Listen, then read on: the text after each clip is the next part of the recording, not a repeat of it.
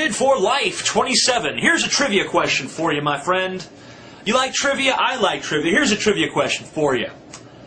Your ass belongs to A. You, B. The government, C. Jesus. I'll give you a moment to answer that.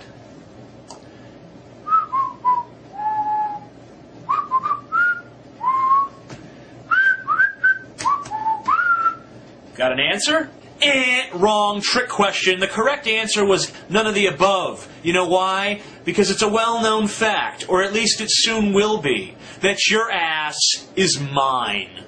The pro-life movement. The radical idea that babies are people too. I guess that's what passes for wit in the pro-life circles, but you know what? I've made you a much better button. The pro-life movement. The ludicrous notion that a fetus is equivalent to a human being and that holding this belief entitles one to apply this ethic even to those who disagree with its precepts. What it lacks in brevity and catchiness, it makes up for in fucking honesty. Don't you agree? Well, no, I guess you don't. Let's say you came home from school one day, or maybe you're older, you came home from work, I don't know, but some reason you went to your mom's house. And for some reason your mom decides, you know, you suck as a child, I don't want you anymore, I hate you, you should die. So, what does your mom do? She kills you. Now, do you think she has the rights to do that? Unless you are mentally disturbed, you probably said, no, I do not think my mom has the right to kill me. Yet, most Americans believe that abortion is okay. That doesn't make much sense to me.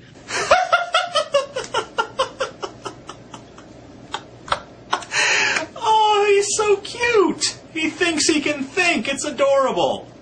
I want to take him home and wrap him up in a little blankie. Just like, oh, it's okay, little guy. I'm obligated by Amazing Atheist Law to own his ass, but I really don't want to. I just want to ruffle up his hair and give him some cho- hot chocolate and some marshmallows and be like, here you go, little guy. That was a good effort. You almost had something resembling a cogent argument, I guess.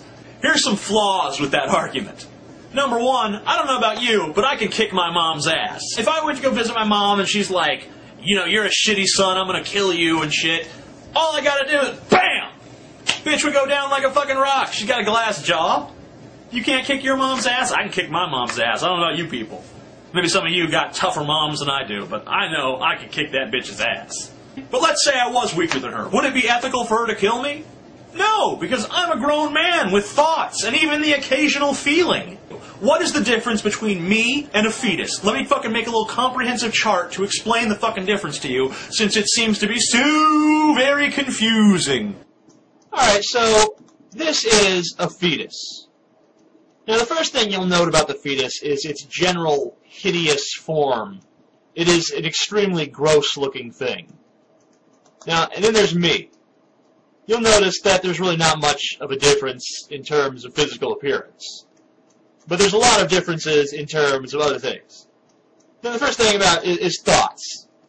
Now, of course, I have thoughts. I'm a grown man. I have thoughts. I have, like I said, yeah. So of course I have thoughts. Now, does the fetus similarly have thoughts?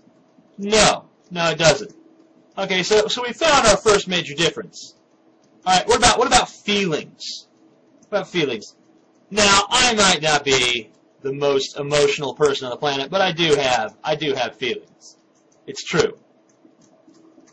As for the fetus, does the fetus have feelings? Well, I mean, obviously, it'd be pretty cruel for nature to create something that is totally isolated in a woman's uterus.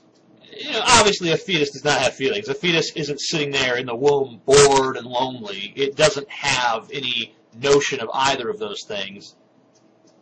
That would be a fairly miserable existence. What about awareness? We know that we are people with an identity and so on and so forth. Yeah, yeah, of course. Of course I have that. Everyone has that. Everyone except for our friend Mr. Fetus, that is. Mr. Fetus doesn't have much in the way of awareness. What about interpersonal relationships? People who know and care about us. Well, a fetus lives inside of its mother's womb, so it can't possibly have anyone that knows it and cares for it. I, on the other hand, am a person with many complex social relationships. such as a brother and a mother and a father and friends and enemies and all sorts of things like that. So you see, there's pretty fucking significant difference between me and Mr. Fetus here.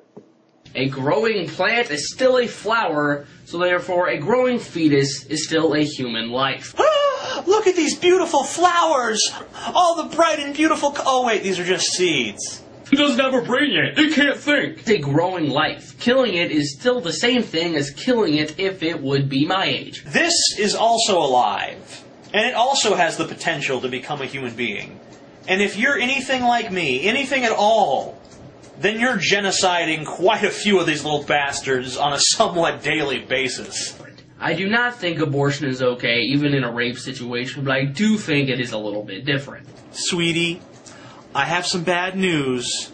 The doctors did some tests, and they found out that, you know, when all those guys raped you, sweetie? It seems that one of them put a little baby in your tummy. That's right. And since we're good Christians, you're going to have to carry that baby inside of you for nine months as a reminder of that moment of shame and degradation. That's because we're Christians, honey. We're moral people. You have to. Yeah, no, don't cry. It's all right. Just because you have the seed of a rapist growing inside of you, that's no reason to be upset, sweetie. You want me to get you an ice cream, huh? You want an ice cream?